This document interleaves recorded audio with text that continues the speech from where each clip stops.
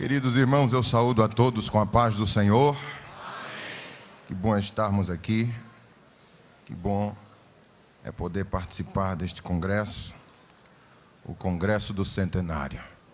Nós louvamos a Deus por tudo que o Senhor tem concedido nestes dias, desde o início da festa, que a glória do Senhor tem se revelado entre nós, e estamos felizes por ver o crescimento da igreja, por ver a mão de Deus se estendendo sobre os jovens da igreja.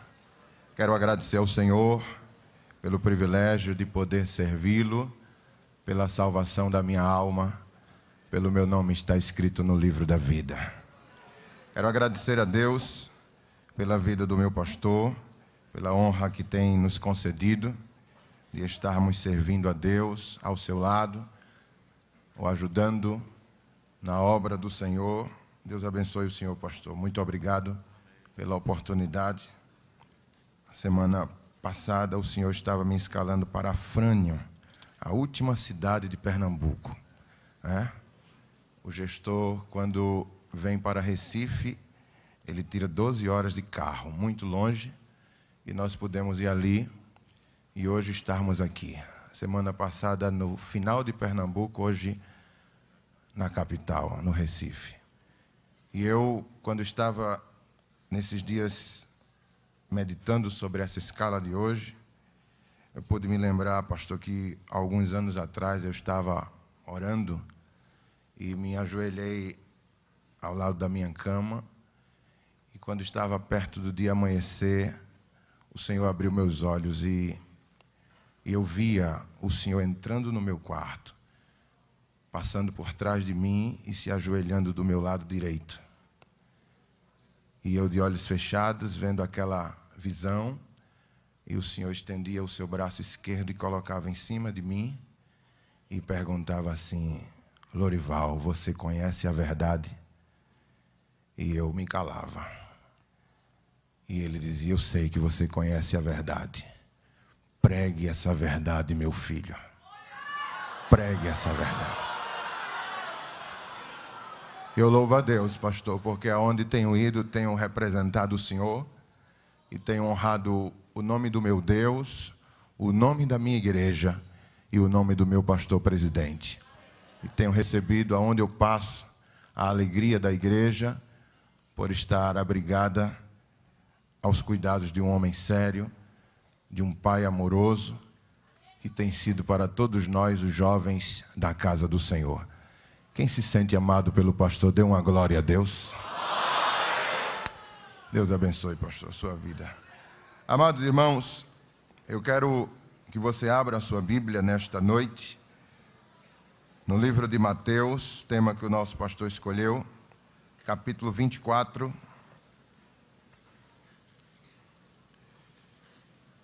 E enquanto você procura, eu quero eu, quando cheguei aqui no templo, eu pude ver que lá fora está superlotado nos dois telões, nos três telões, aí na frente dois, aqui atrás mais um.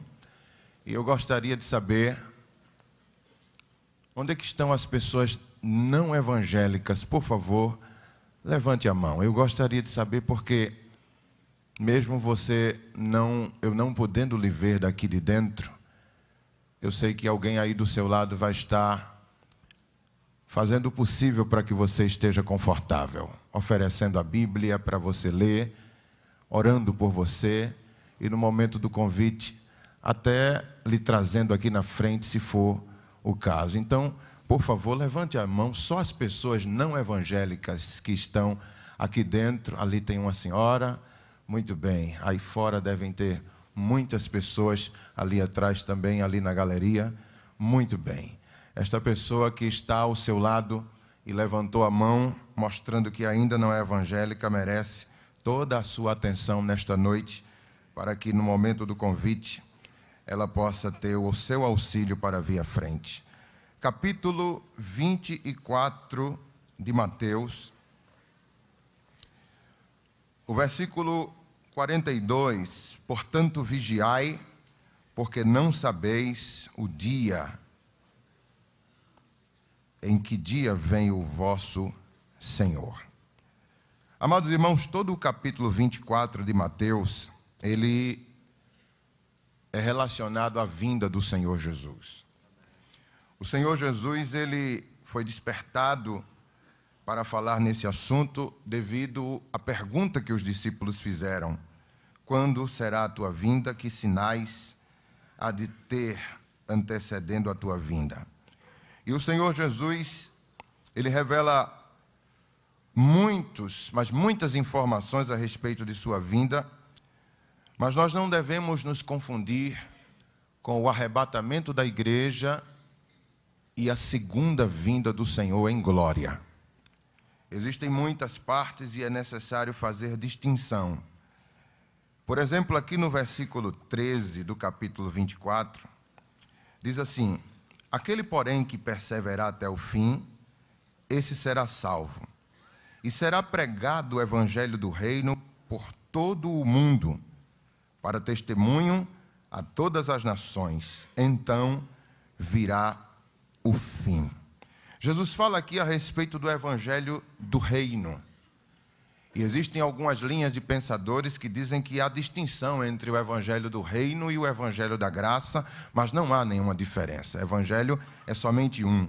O Evangelho da Graça foi citado por Paulo em Atos, capítulo 20 e versículo 24, quando ele diz assim: Mas de nada faço questão, nem tenho a minha vida por preciosa, contanto que cumpra com alegria a minha carreira e o ministério que recebi do Senhor Jesus para dar testemunho do Evangelho da graça de Deus. Esse Evangelho do reino e Evangelho da graça não diferencia. A única coisa que possamos distinguir de um para o outro é que este evangelho da graça, que mencionado por Paulo é, ele é o evangelho pregado pela igreja antes do arrebatamento. E a mensagem do reino, que é o mesmo evangelho, ela há de ser pregada durante o período da grande tribulação. A mensagem também se distingue porque a mensagem pregada antes da grande tribulação é: preparem-se para ir de encontro ao rei. Esta é a mensagem que a igreja prega. Mas durante a grande tribulação, não vai ser essa mensagem. Será: preparem-se, o rei está vindo ao vosso encontro. Preparem-se para se encontrar com o rei é o evangelho que se prega antes da grande tribulação. E o evangelho que se pregará durante a grande tribulação é: preparem-se, o rei está vindo ao vosso encontro. As informações a respeito do arrebatamento da igreja, elas só são contidas na Bíblia. Não existe outra fonte de informação que fale sobre o arrebatamento da igreja a não ser na palavra de Deus. É só aqui que existem informações sobre o arrebatamento, sobre o dia do Senhor, sobre a volta de Cristo. E Paulo é o maior detentor destas informações. A Bíblia vai mostrar oito vezes mais versículos que falem sobre a vinda do Senhor do que a sua primeira vinda. Vou repetir: a Bíblia demonstra oito vezes mais textos que falem sobre a volta do Senhor do que a sua primeira vinda. E o apóstolo Paulo é o maior informante desta grande experiência que a igreja está na expectativa. Em 2 Coríntios, por exemplo, no capítulo 12, se você quiser abrir a sua Bíblia, fique à vontade. 2 Coríntios, capítulo 12, os versículos de 1 a 4, Paulo fala o seguinte: Em verdade, que não convém gloriar-me, mas passarei as visões e revelações do Senhor. Conheço um homem em Cristo que há 14 anos, no corpo não sei, se fora do corpo também não sei, Deus o sabe. Foi arrebatado ao terceiro céu, e sei que o tal homem, se no corpo, se fora do corpo eu não sei, Deus o sabe, foi arrebatado ao paraíso e ouviu palavras inefáveis que ao homem não é lícito falar. Segundo Coríntios 12, 1 ao 4. O próprio Paulo está escrevendo aos crentes ali de Corinto, dizendo que ele teve essa experiência de ser arrebatado até o terceiro céu. Ele não sabe se foi em corpo, ele não sabe se foi em espírito, mas ele recebe informações que, inclusive, foram informações que podiam fazer do apóstolo se exaltar. E ele diz no versículo 7, ainda do capítulo 12 de 2 Coríntios, ele diz: E para que não me exaltasse pela excelência das revelações, foi-me dado um espinho na carne, a saber, um mensageiro de Satanás para me esbofetear, a fim de não me exaltar. Ou seja, as informações, as revelações que o apóstolo teve nessa experiência de ir até o terceiro céu foram tamanhas que ele precisou, Deus precisou enviar um mensageiro de Satanás para manter o equilíbrio de Paulo e ele não vir a se exaltar. Na sua primeira carta aos Coríntios, ele no capítulo 2, versículo 9, ele diz assim: Mas como está escrito, as coisas que o olho não viu e o ouvido não ouviu e não subiram ao coração do homem, são as que Deus preparou para os que o amam. Diga glória a Deus por isso. Eu vou repetir, o versículo é tremendo, mas como está escrito, as coisas que o olho não viu e o ouvido não ouviu e não subiram ao coração do homem, são as que Deus preparou para os que o amam. Glória a Deus por isso. O que é que Paulo está querendo dizer? O que eu vi quando fui arrebatado, as coisas que eu pude ver lá em cima, nunca chegou ao coração de homem nenhum aqui na terra. Olhos humanos nunca contemplaram. O lugar mais lindo que existir na terra não se compara a nada do que eu vi lá em cima. Aquilo mais belo que você já ouviu não se compara ao que eu ouvi quando estive lá em cima. São as coisas que Deus preparou para aqueles que o amam. Quem ama Jesus aqui, dê uma glória ao seu nome. Aleluia! Glória a Deus. Queridos irmãos, baseado nesta experiência e nas informações que Paulo nos traz, nós podemos entender que pelo menos existem três céus. Se ele diz que foi ao terceiro céu, então vamos vasculhar na palavra onde está descrevendo os outros dois. O primeiro céu é o céu que a Bíblia chama de firmamento. E você sabe que está escrito no primeiro livro da Bíblia, capítulo 1, versículos de 6 a 8, ali, Deus vai falar sobre o firmamento. Deus criou estes três céus, e o primeiro céu é o céu visível. É o céu que você contempla com os seus olhos, e o seu limite é as nuvens. A palavra de Deus vai dizer também no Salmo 19, versículo 1, que os céus proclamam a glória de Deus e o firmamento anuncia as obras de sua mão. Este primeiro céu, ele foi rompido por Jesus quando ele foi assunto. A Bíblia fala que logo após ele ser glorificado, ele passou ainda 40 dias com os seus discípulos aqui, e ao findar destes 40 dias, ele foi levado aos céus. E ele transpassa esse primeiro céu. E nós vamos perceber pela revelação da palavra que ele transpassou o segundo e o terceiro. No primeiro está escrito em Atos capítulo 1 e versículo 9, quando diz a palavra do Senhor Jesus, que eles enxergando Jesus sendo elevado, foi encoberto pelas nuvens. E a Bíblia fala: tendo dito isto, foi elevado às alturas, enquanto eles olhavam, uma nuvem o encobriu da vista deles. Atos 1 e 9. Jesus transpassa este primeiro céu. Então, o céu é o firmamento, é o céu onde o seu limite é justamente as nuvens, é quando sua visão enxerga. Mas a palavra de Deus diz que nesta primeira etapa da subida de Jesus, ele foi visto por cerca de mais de 500 pessoas. Paulo descreve isso na sua primeira carta aos Coríntios 15, 6. Ele diz assim: Depois disso, apareceu a mais de 500 irmãos de uma só vez, a maioria dos quais ainda vivem, embora alguns já tenham adormecido. Então, Presta atenção nisso aqui. Jesus está subindo à vista de mais de 500 pessoas, testemunhando que ele está subindo aos céus.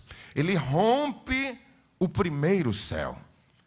Irmão Lorival, será que na palavra vai descrever alguma vez que Jesus transpassou o segundo céu? Sim, declara assim. Mas no segundo céu, Paulo também fala que é chamado de regiões celestes. Estas regiões celestes, Paulo descreve em Efésios, no capítulo 6, do versículo 10 a 12, por exemplo. E estas regiões celestes são conhecidas como justamente o segundo céu. Elas não podem ser vistas por, por olhos humanos. Este segundo céu é justamente o que ele diz que olho não vê. Este segundo céu, amados irmãos, é onde o Senhor é visto por Davi. A palavra de Deus diz que Davi, por cerca de 1077 anos atrás de Cristo, ele teve a experiência de ver o Messias entrando pelo segundo céu. Se você puder abrir a sua Bíblia, por favor, no Salmo de número 24, versículos 7 a 10.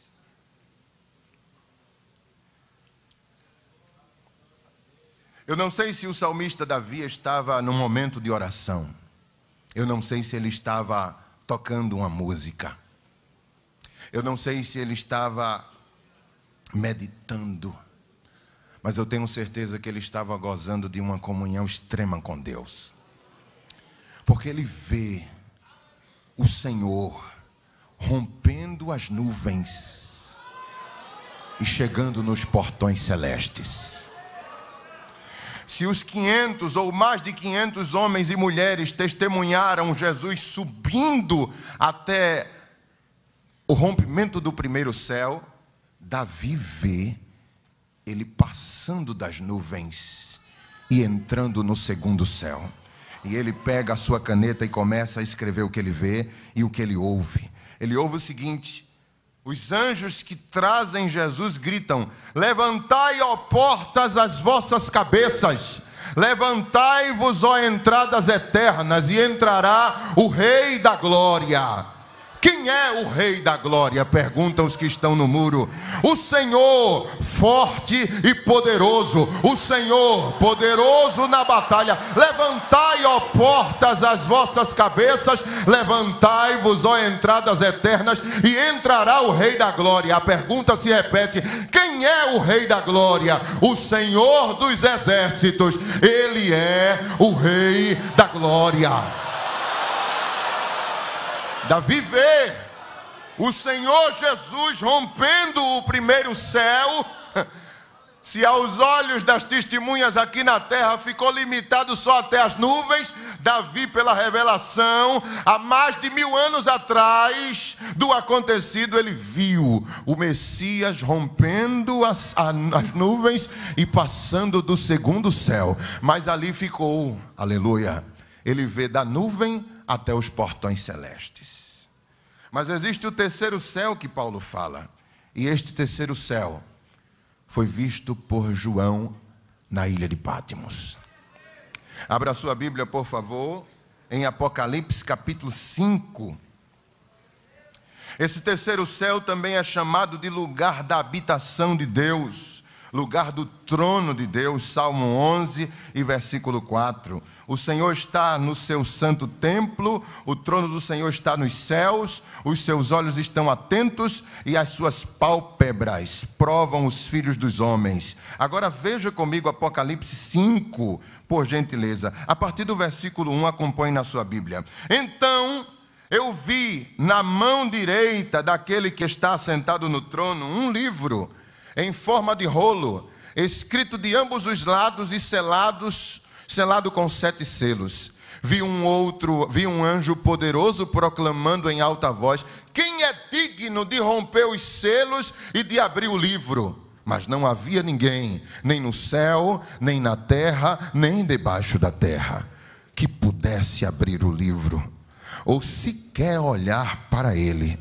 E eu chorava muito porque não se encontrou ninguém que fosse digno de abrir o livro e de olhar para ele. Então um dos anciãos me disse: Não chore. Eis o leão da tribo de Judá, a raiz de Davi, venceu para abrir o livro e desatar os seus sete selos. Dê uma glória para Jesus. Amados irmãos, se as mais de 500 testemunhas puderam ver Jesus rompendo o primeiro céu, se Davi, há mais de mil anos atrás, aleluia, mil anos antes de Cristo, viu ele rompendo o segundo céu, João, eu acredito que foi o mais privilegiado, porque ele foi o convidado de honra para ver o Messias entrando no terceiro céu. Eu quero que você imagine comigo a cena, porque João é o único ser humano naquela cerimônia que eu chamo de cerimônia de glória. Era uma cerimônia para receber o Messias, aleluia. João está lá, a Bíblia diz que ele vê o Senhor, o Deus Todo-Poderoso, assentado no seu trono de glória, e na mão do Deus Todo-Poderoso havia um livro, um rolo selado com sete selos, e diante do Senhor ia um anjo forte e poderoso, perguntando aos milhares de presentes ali naquela cerimônia: quem é digno de abrir o livro que está na mão de Deus? E diz a palavra, João observando aquilo, nenhum deles era digno nem de sequer olhar para o livro, todos baixaram a cabeça. Então João diz: o anjo desceu na terra, desceu embaixo da terra e voltou com a informação dizendo: Não achei ninguém, Senhor, ninguém é digno de abrir o livro e de desatar os seus sete selos. Aí João diz que quando ele recebe essa informação do anjo, quando ele escuta, escuta o anjo dizer isso a Deus, ele começa a chorar. Por que João chora? Se no céu não é lugar para choro. Se a Bíblia diz que dos nossos olhos Deus há de enxugar todas as lágrimas, mas João é o único ali presente que começa a chorar. Por quê? Porque quando o anjo traz essa mensagem, João pensa e diz: O meu Messias falhou o meu Cristo falhou na sua missão. Ele não conseguiu completar o projeto de Deus. Se ele não foi achado aqui, se ele não foi achado na terra, se ele não foi achado embaixo da terra, aleluia. Então o projeto da redenção faliu o Senhor não conseguiu completar. Aí Deus vê João chorando e dá um sinal ao ancião que vai lá. E o ancião vai a João e diz assim: Oh, não chores. Como não chorar? Se eu estou recebendo a informação que ninguém foi achado, nem aqui, nem na terra e nem embaixo da terra, digno de abrir o livro. Eu achava que era o meu Jesus que iria abrir o livro, mas ele não foi encontrado. Como não chorar? Eis ali Aí é justamente quando os portões estão se abrindo.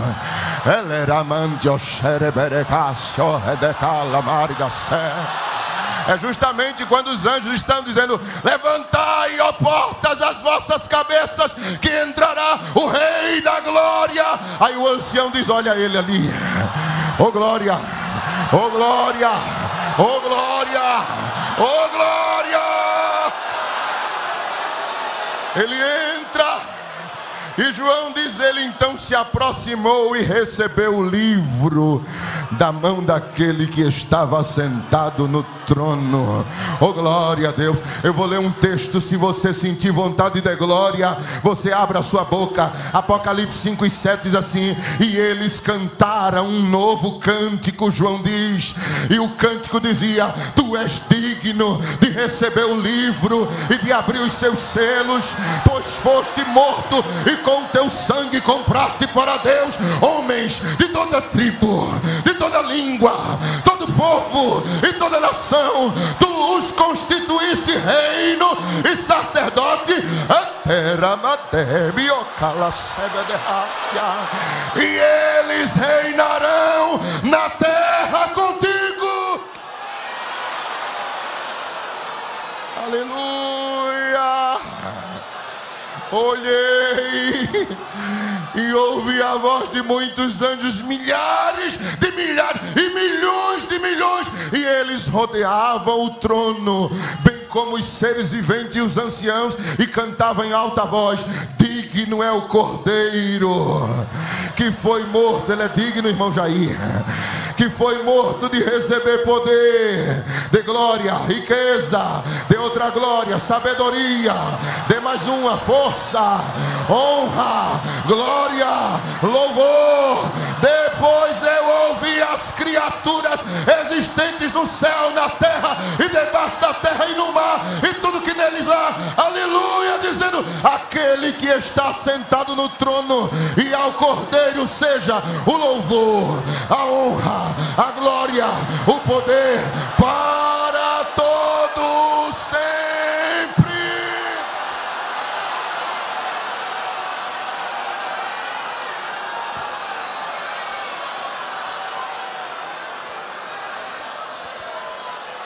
Pega na mão desse crente e diz assim: Jesus é digno da tua glória. Diga isso. Jesus é digno que você abra a sua boca e o adore. Ele é digno. Paulo chegou ao terceiro céu. Jesus rompeu o primeiro, foi visto por mais de 500. Rompeu o segundo, foi visto por Davi. Rompeu o terceiro, aleluia, e foi visto por João na ilha de Pátimos. Então há três céus. Oh glória a Jesus. Oh glória a Jesus. Oh, glória a Jesus. Vamos aqui buscar informações na palavra de Deus a respeito do que nos espera. A palavra de Deus diz, amados irmãos, por exemplo, em 1 de Tessalonicenses, capítulo 4, e versículo 13. Era como se Paulo, irmãos, tivesse, tivesse tanta informação a respeito do céu. E ele quer trazer essas informações para a igreja do Senhor. E ele começa dizendo assim: Não quero, irmãos, que vocês sejam ignorantes a respeito dos que dormem. Paulo, ele é o detentor das informações, irmãos. Ele recebeu revelações neste arrebatamento de sentidos que ele teve, e ele agora está transmitindo à igreja: irmãos, eu não quero que vocês sejam ignorantes a respeito do que do, dos que dormem, para que não vos entristeçais como os demais que não têm esperança, porque se cremos que Jesus morreu e ressuscitou, assim também aos que em Jesus dormem, Deus os tornará a trazer com ele. Dizemos-vos, pois, isto pela palavra do Senhor que nós, os que ficarmos vivos para a vinda do Senhor, não precederemos os que dormem, porque o mesmo Senhor descerá do céu. Que céu é esse? O terceiro céu, com alarido, aleluia, e com voz de arcanjo. Qual é o único arcanjo que a Bíblia menciona? Miguel, e com trombeta, aleluia, de Deus, no original, trombeta, e os que morreram em Cristo ressuscitarão primeiro, depois nós, os que ficarmos vivos, seremos arrebatados, juntamente com eles nas nuvens, a encontrar o Senhor nos ares. Que ares é esse? O segundo céu, e assim estaremos para sempre com o Senhor. Diga amém por isso. São informações tão precisas que o apóstolo nos traz, irmãos. Aleluia.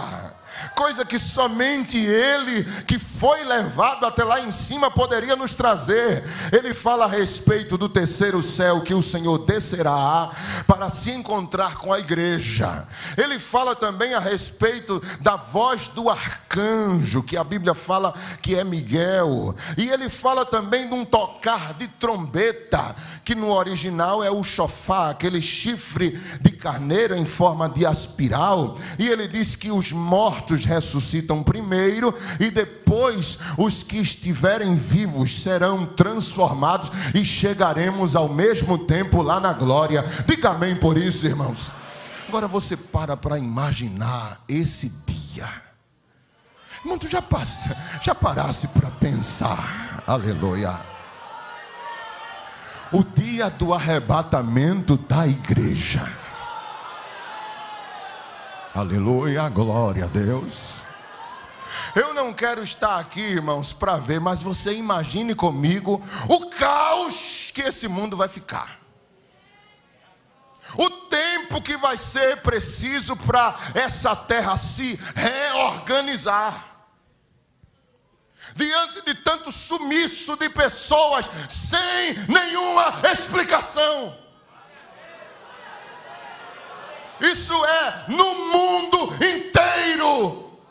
Porque João diz de todos os povos e tribos e línguas, todas as nações, os cinco continentes, estará informando que lá houve também sumiço de pessoas.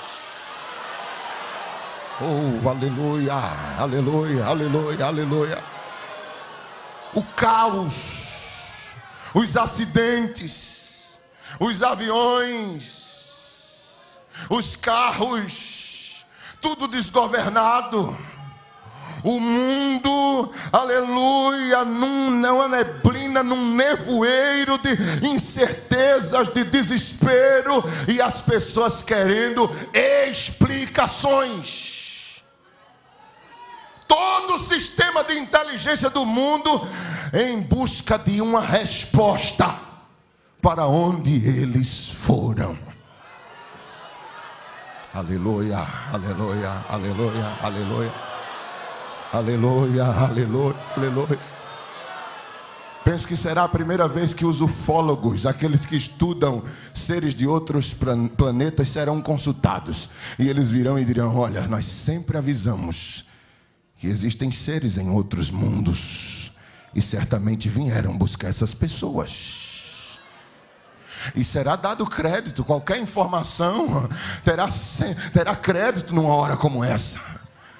As polícias inteligentes buscarão respostas. E no sistema avançado de tecnologia que temos, irmãos, onde é que vão buscar? Olha, existem igrejas que é justamente onde o maior número de pessoas desapareceram. E estas igrejas que têm sistema de tecnologia, existem filmagem nesses cultos deles. Então vamos buscar saber onde é que está a filmagem, onde é que está o sistema de filmagem, onde é o centro de filmagem. Já pensasse, crente? Aleluia, aleluia, aleluia, aleluia, aleluia, aleluia, aleluia, aleluia, aleluia.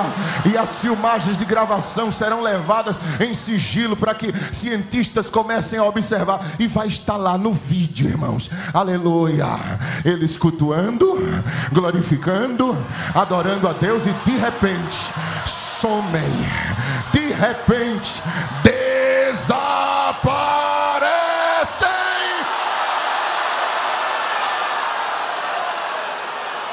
Não, mas como é que pode? Não tem corte nessa filmagem. Não, não tem corte. Então passa de câmera lenta e passa novamente. E eles passam em câmera lenta mas num abrir e piscar de olhos, você desapareceu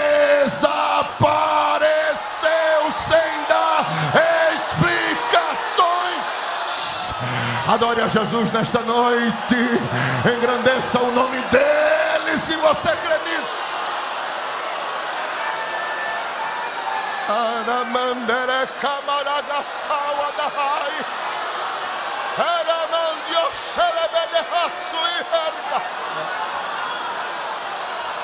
Tira mandio suple herda.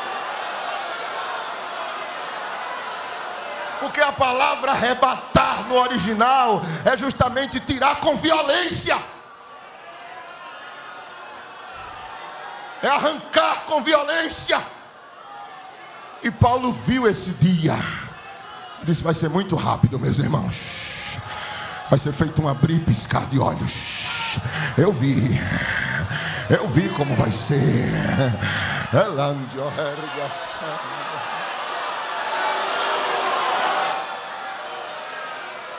Paulo fala que viu também o toque de uma trombeta.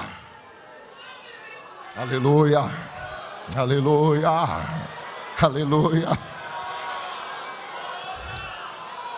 Ele diz em 1 Coríntios 15, 51 e 52: Eis aqui vos digo um mistério. Na verdade, nem todos dormiremos mas todos seremos transformados num momento, num abrir e fechar de olhos, ante a última trombeta. Aí ele diz: Porque a trombeta soará, e os mortos ressuscitarão, incorruptíveis, e nós seremos transformados. Esse toque da trombeta, amados irmãos, esse toque do chofar, o chofar, por exemplo, é um instrumento mais antigo, é um dos mais antigos da humanidade. E esse chofar, ele aparece pela primeira vez em Êxodo 19, 13, quando Deus, ele teve uma aparição no meio do arraial, e na medida que ele se revelava, o toque do chofar começava a ressoar no monte onde Deus aparece para o seu povo. Esse chofar também é revelado na Bíblia na batalha de Josué, onde as muralhas de Jericó elas caem, foi justamente o tocar de um chofar, foram as trombetas que Josué usou. Gideão também, aqueles 300 homens, quando foram tocar trombetas, era o chofar que foi usado ali na batalha contra os seus inimigos. O chofar, vejam só isso. Ele tem três toques especiais, três. Em hebraico, o primeiro é chamado tequiá, que significa levantar. Esse toque, ele era ressoado no acampamento. Porque a coluna de nuvem, quando ela se movia, nem todas as doze tribos contemplavam ela se mexendo. Então, para que não houvesse atraso, ela, esse, esse, esse, essa trombeta era tocada no toque do tequiá. E esse toque é um toque contínuo, é necessário muito fôlego para tocar. E quem escuta, o povo de Israel, que sabia o que ele significava, ele rapidamente, eles rapidamente desarmavam o seu acampamento porque a coluna estava se mexendo. Um outro toque interessante é o chevarim. Esse era justamente significava queimar o lixo. Quando a nação de Israel, o acampamento, ouvia o toque do chevarim, que era o chofá, dando este tipo de toque, que são três tons. Três tons. E esse, esses tons dizia ao povo: tirem todo o lixo das tendas e joguem de uma só vez fora do arraial. Mas o último toque do, do chofá era o chamado de teruá. Esse toque era uma marcha simbolizava que o povo deveria marchar para uma guerra, e eram nove toques curtos.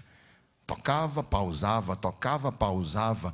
E o povo de Israel, muito habituado com isso, irmãos, entendia cada toque do chofar. O chofar era usado também nas batalhas, para que quando o chefe do exército ou o exército tocasse o chofar, o inimigo não entendia o que o exército estava se preparando para fazer, porque era um toque secreto, era um código secreto que só o exército israelita entendia. Então, quando era avançar, existia um toque, recuar, preparar-se para a batalha, é, cercar o inimigo, tudo isso tinha na base do toque. Então, Paulo escrevendo, ele diz na primeira carta aos Coríntios, capítulo 14 e 8, ele diz assim: Pois também, se a trombeta der um som incerto, quem se preparará para a batalha? Então, a trombeta era o que ditava o avanço, o recuo, a estratégia de guerra. Aí, esse mesmo chofar, esse mesmo instrumento, de batalha que Israel se utilizava, Paulo diz que ouviu ele antes do arrebatamento. Aleluia. Existe um exemplo muito prático nos nossos dias que é o apito do guarda de trânsito. O agente de trânsito, quando você vai tirar a carteira de habilitação, você estuda o que chama-se de silvos. E, por exemplo, um silvo breve, quando você está dirigindo e o guarda toca o apito num silvo breve, ele está dizendo siga.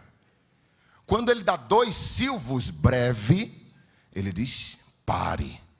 Ele não está falando mas você que é habilitado deve entender que ele está mandando você parar.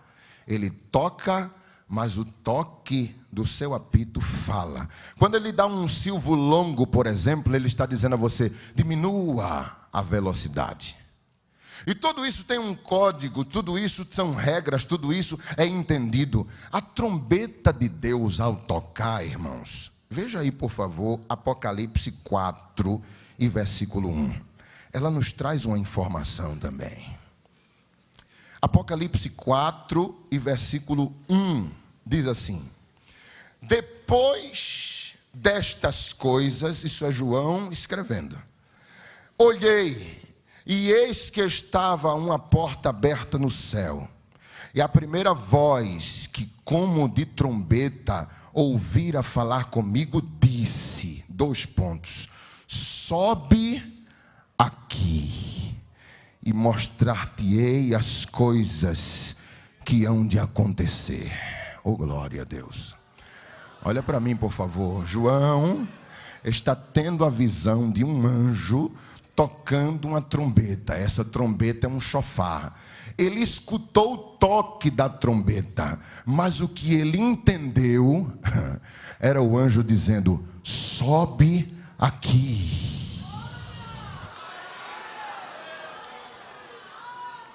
O toque do arrebatamento, ele pode até ser ouvido no mundo inteiro, mas só a igreja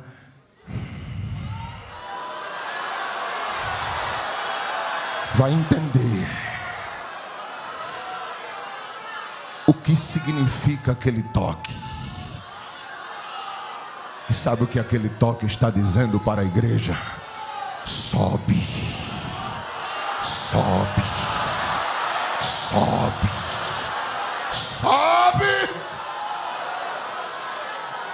Oh, glória ao nome de Jesus. O toque do chofar será ressoado. E Paulo diz que será o arcanjo que há de dar este toque. É linda essa revelação que Paulo nos traz, irmãos. Aleluia, glória a Deus. Quem é esse arcanjo? O arcanjo que a Bíblia fala é Miguel, que significa quem é como o Senhor. Oh, glória a Deus, glória a Deus, glória a Deus. O prefixo arque significa líder, arque-anjo significa que ele é líder dos anjos. Ele é um maioral dos anjos. Ele é um anjo de guerra. Ele não se apresenta em nenhuma parte da Bíblia a não ser numa batalha.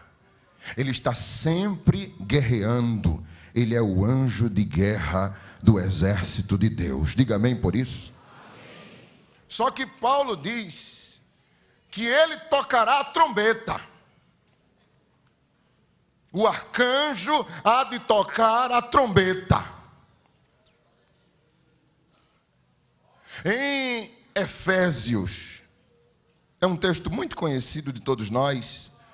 Paulo fala sobre as regiões celestes. No capítulo 6, no versículo 11 e 12, ele diz assim: revestido de toda a armadura de Deus, você entende muito bem isso, você conhece para que possais estar firmes contra as astutas ciladas do diabo. Porque não temos que lutar contra a carne, diga comigo, carne e sangue, Aí ele diz: Mas sim contra os principados, potestades, príncipe das trevas deste século, contra as hostes espirituais da maldade nos lugares celestes. Preste atenção nesse final do texto. Lugares celestes. É onde habita justamente estas classes de demônios, potestades, principados, príncipe das trevas, hostes espirituais da maldade. Essas classes de demônio, Paulo diz, que estão habitando em regiões celestes. E essas regiões celestes, lugares celestes que Paulo fala, é justamente esse segundo céu, que chamamos de espaço sideral, além das nuvens e limitado pelo portão do terceiro céu do paraíso. Nestas regiões celestes habitam espíritos. Quando eles foram expulsos do terceiro céu, liderados por Lúcifer, uma parte dele desce para o abismo. E estes estão presos até hoje e estão, estarão sendo soltos durante a grande tribulação. Mas uma outra parte destes demônios, inclusive o próprio Satanás, ele habita nas regiões celestes. Existe uma experiência vivida por Daniel lá no Antigo Testamento que nos esclarece muito bem isso. Escute, por favor. Está em Daniel capítulo 10, versículo 12 ao 14. Então me disse: um anjo chega para Daniel e diz a ele: Não temas, Daniel. Porque desde o primeiro dia que tu aplicaste o teu coração em compreender e humilhar-te perante o teu Deus, foram ouvidas as tuas palavras. Para quem gosta de Bíblia, isso aqui é muito comum, essa, essa leitura. Eu vim por causa das tuas palavras. Mas olha o que ele diz. O príncipe do reino da Pérsia fez o que? Me resistiu. Isso é o mensageiro celeste explicando a Daniel porque não veio tão rápido. Ele diz: Ele me resistiu por 21 dias. E eis que Miguel um dos primeiros príncipes veio para ajudar-me, e eu fiquei ali com os reis da Pérsia. Agora eu vim para fazer-te entender o que há de acontecer ao teu povo nos derradeiros dias, porque a visão é ainda para muitos dias. Deixa eu explicar para você a experiência que Daniel viveu. Daniel está orando para que Deus cumpra a sua palavra que disse em Jeremias que libertaria o povo depois de 70 anos do cativeiro babilônico. Ele faz uma campanha, ele já está no vigésimo primeiro dia, jejuando e orando. Isso eu estou falando de um ancião de quase 90 anos de idade. Aí no vigésimo primeiro dia, este anjo que aqui está sendo revelado, ele diz assim: Cheguei, Daniel. Tu és muito amado, Daniel e no princípio das tuas súplicas saiu a ordem. Ou seja, quando tu te colocaste de joelhos para buscar ao Senhor, para que Ele cumprisse a sua promessa, Deus já autorizou eu descer na terra e te esclarecer as coisas pelas quais tu estavas orando. Mas sabe o motivo da demora, Daniel? Foi que nos ares eu fui interrompido. O príncipe da Pérsia me resistiu e eu passei 21 dias até que desceu Miguel, o anjo de guerra de Deus, aquele cujo nome é Quem é como o Senhor. Aleluia. Quando Daniel, quando Miguel chega, irmãos, ele já chega com o nome apresentado, né? Os demônios resistindo o anjo mensageiro e Miguel chega dizendo: Quem é aqui como o Senhor, o Deus Todo-Poderoso? Aleluia. Aí ele trava uma batalha e abre caminho para aquele anjo mensageiro chegar até Daniel. Veja como é o mundo espiritual lá em cima. E às vezes você fica achando que sua oração não está sendo respondida porque Deus não lhe ama, porque não é a vontade de Deus fazer aquilo. Olha, querido, entenda que não é somente você orar, o segredo está em você perseverar na oração, porque enquanto estás orando, lá em cima está sendo travada batalhas para que a tua resposta chegue até você. Então pega na mão desse crente aí do teu lado, diz a ele assim: "Não pare de orar" não pare de orar. As batalhas, diga, as batalhas estão sendo travadas. Diga, diga, diga isso a ele, as batalhas estão sendo travadas. Agora diga a ele assim: "Mas o que é teu vai chegar na tua mão em nome de Jesus."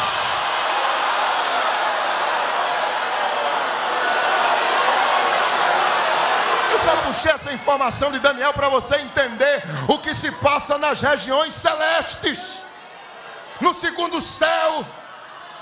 Aí, Paulo, irmãos, aleluia, glória ao nome de Jesus, glória a Deus, glória a Deus. Aí, Paulo vai dizer, queridos, que o nosso encontro se dará nos ares. Oh, glória a Deus.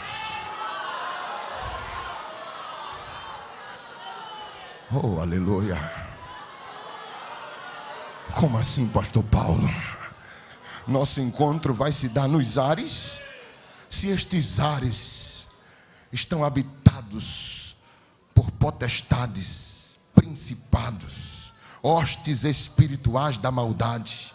Irmãos, eu vou ser bem franco aqui.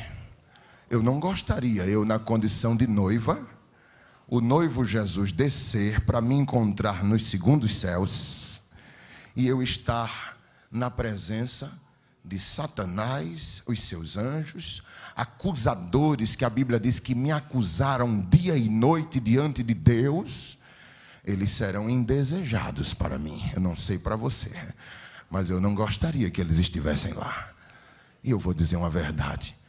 Deus também não quer eles lá. Deus não quer eles lá.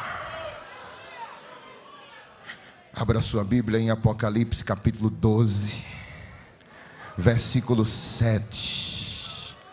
Apocalipse capítulo 12, versículo 7. Olha o que vai acontecer antes da igreja ser arrebatada.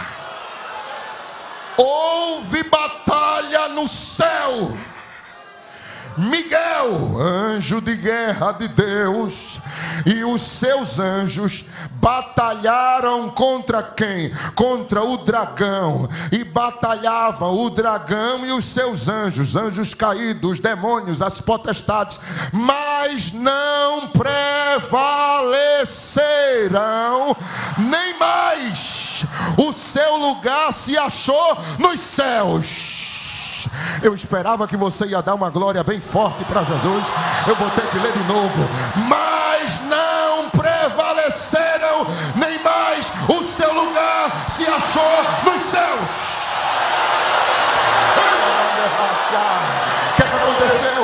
E foi precipitado o grande dragão, a antiga serpente, o diabo e Satanás, que engana todo mundo, ele foi precipitado na terra, e os seus anjos foram lançados com ele, e ouvi uma grande voz no céu que dizia: Agora é chegada a salvação e a força, e o reino do nosso Deus, e o Cristo, porque já o acusador de nossos irmãos foi derrubado. Eita, eu estou falando da derrota do diabo, e você está calado, meu irmão.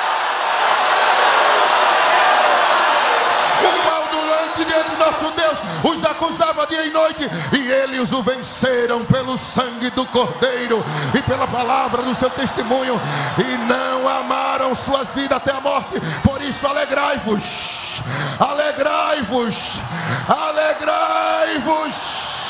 Eu vou falar até você se alegrar. Alegrai-vos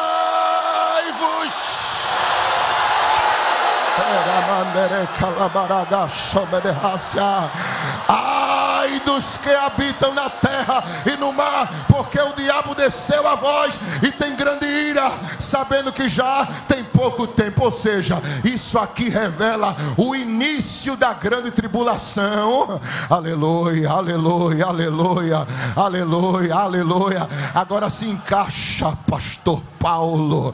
Oh glória, oh glória. Miguel batalha lá nos altos céus. Quando ele termina de vencer Satanás, ele pega o chofar. Aleluia, aleluia, aleluia, aleluia. Ele toca o chofar.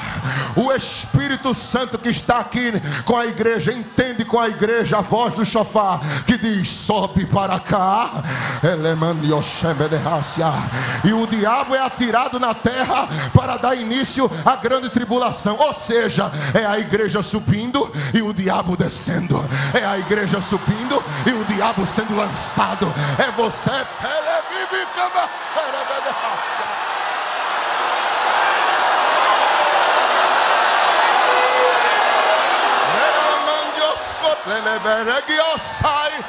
Fale em línguas estranhas, querido. Fique à vontade. Oh, adore a Jesus. Você faz parte desse projeto, dessa história. Se esse crente está do teu lado calado, anima ele, balança a mão dele e diz assim: estaremos lá, meu irmão. Estaremos lá, meu irmão. Estaremos juntos, meu irmão.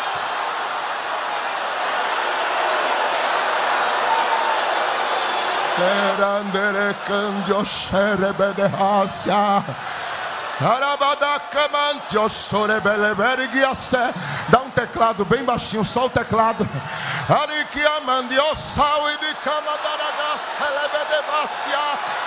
Ereminante o suple de vassimi teleberegai. Sinta a presença de Deus, você que está assistindo em casa. A glória de Deus invade a tua sala agora. Sinta a presença do Senhor confirmando que você vai estar lá. Você vai estar lá. A glória que tu vai dar aí dentro do teu lar vai espantar esse demônio de depressão. Agora. Seja cheio, seja cheio, receba a presença de Deus aonde você estiver. Sinta a glória do Senhor. Jesus está te dando a certeza, a convicção que tu estás com o nome escrito no livro da vida. Andiele menemanti calamaragassa Rabadala sawi di pere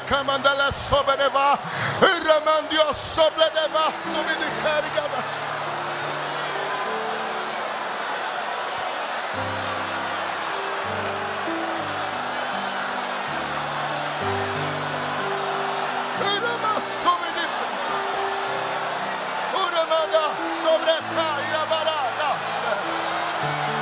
essas informações só tem na Bíblia.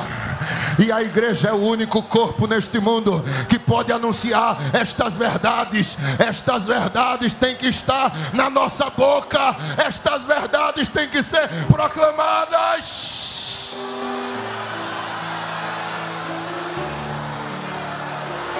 Oh, glória a Deus. Oh, glória a Deus. Oh, glória a Deus.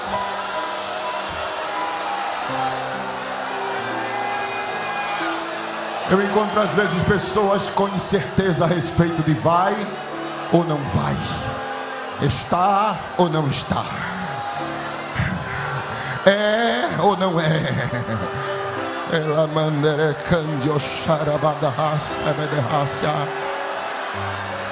Quer uma grande prova se tu és ou não é? Se tu faz parte ou não da igreja arrebatada? da igreja que vai passar pelo arrebatamento quer mesmo saber se você está ou não está incluso neste plano, é, é fácil. Oh, aleluia. Meus pastores, os senhores sabem que antes da vinda do Senhor há de aparecer muitos sinais na terra, muitos. Mas um deles é o derramamento do Espírito Santo de Deus sobre a igreja do Senhor.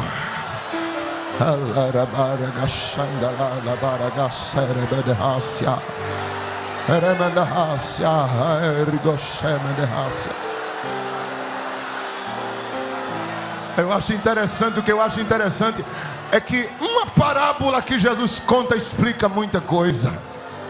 Você vai lembrar disso em rápidas palavras, a parábola de Mateus 13, a parábola do joio e do trigo.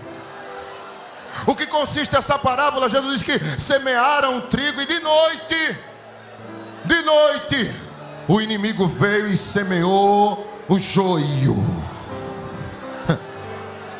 Quando eles estão crescendo, o dono da lavoura chama os seus empregados e diz: Vocês não viram isso? Quando vocês estavam dormindo, certamente um inimigo nosso veio e semeou a semente do joio. Um dos servos tentando consertar o erro da negligência diz: Meu senhor, o senhor quer que eu arranque? Eu arranco. O dono da lavoura diz: Não. Embaixo as raízes estão entrelaçadas. Deixa crescer junto, joio e trigo.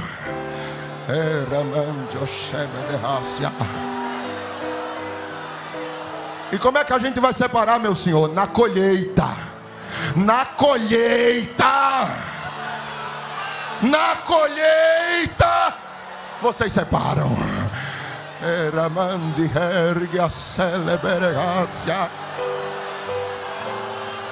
Irmãos, aleluia para que nós não, não conhecemos o sentido real da natureza lá em Israel.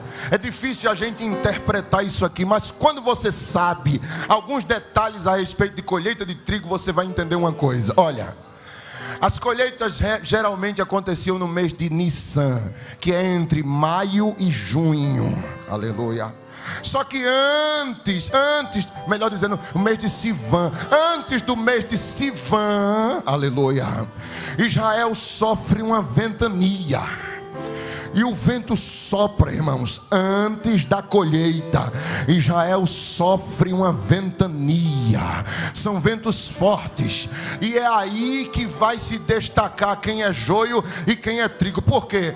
Quando crescem, eles se diferenciam. O joio, ele tem o talinho dele resiliente, muito muito duro. Ele não é flexível ele permanece estático. Só que o trigo, o talinho do trigo, ele é flexível, ele se dobra.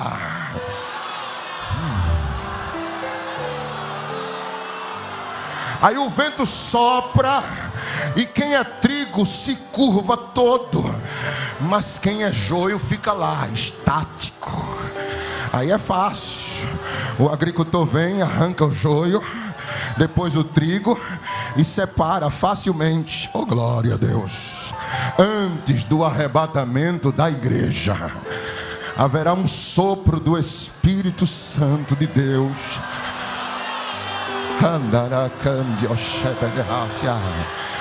Quem é trigo vai se destacar porque trigo se encurva diante do sopro do Espírito Santo. Quem é trigo chora, quem é trigo glorifica, quem é trigo fala em línguas, quem é trigo recebe o sopro do Espírito Santo e se rende. Mas quem é joio, é sente nada, é o vento soprando, é a glória descendo, e ele lá parece uma estátua, estático, duro.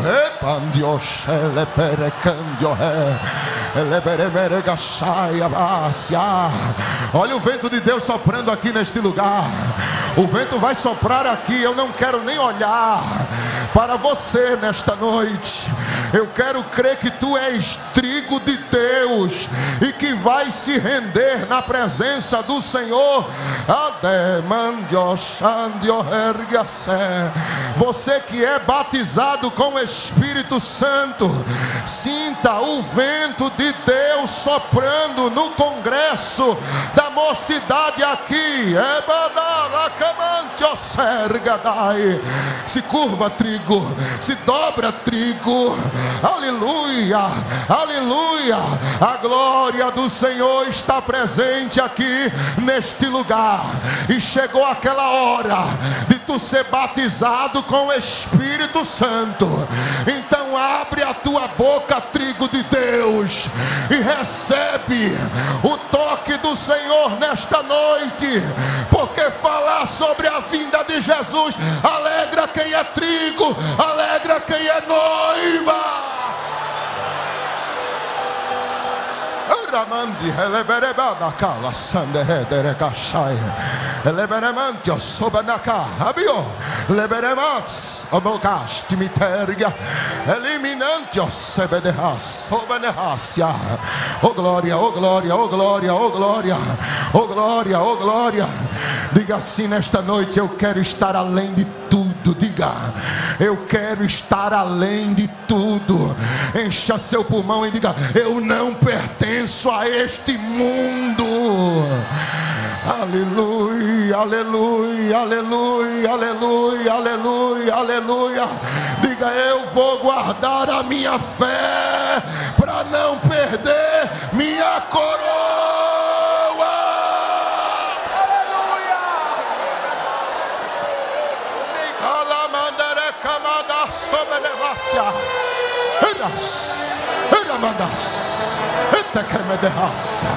Olha a glória de Deus chegando. Olha a glória de Deus te tomando aí. Olha a glória do Senhor Jesus te envolvendo. Você é igreja, você é noiva, você foi chamado para viver este avivamento do Espírito. Meu Deus, toma Jesus, toma, Jesus. É a noite, é a noite, é a noite de tu adorar a Ele. Glorifica, exalta, exalta, exalta, exalta, exalta. Tem um cântico novo na tua boca aí. Tem um cântico de vitória de Deus chegando para você. Meu Deus. Oh Senhor. Oh Senhor. Oh, se fosse agora. Oh, eu creio. Senhor. Que Miguel pode já estar batalhando lá em cima. Eu creio. Eu creio.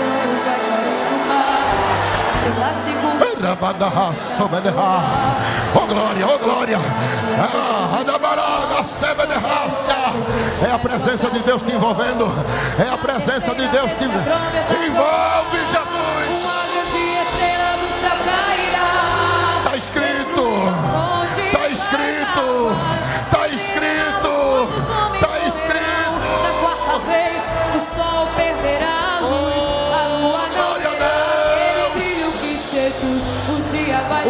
Vai ser noite.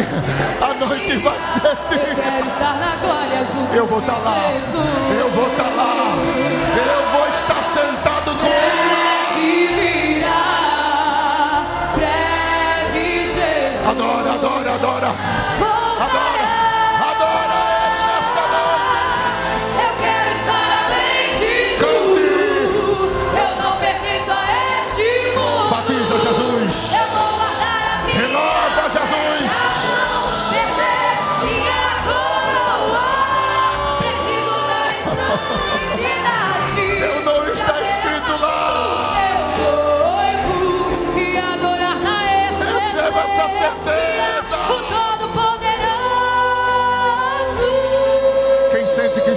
Está tocando você nesta noite?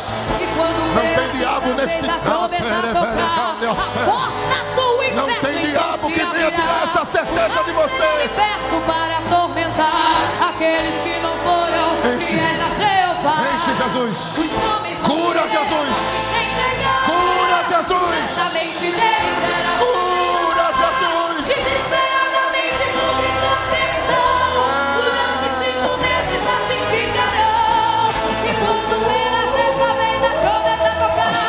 trombetas de Deus vão tocar. É. Estaremos longe, estaremos distantes.